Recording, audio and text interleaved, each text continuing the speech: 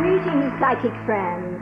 Let us enter the realm of the 1996 MTV Video Music Awards with astral performances by Bone Thugs-n-Harmony, Bush, The Cranberries, Fugees, Hootie and the Blowfish, LL Cool J, Metallica, Alanis Morissette, Nas, Oasis, The Smashing Pumpkins, Neil Young, plus Kiss lights up the skyline from New York Harbor.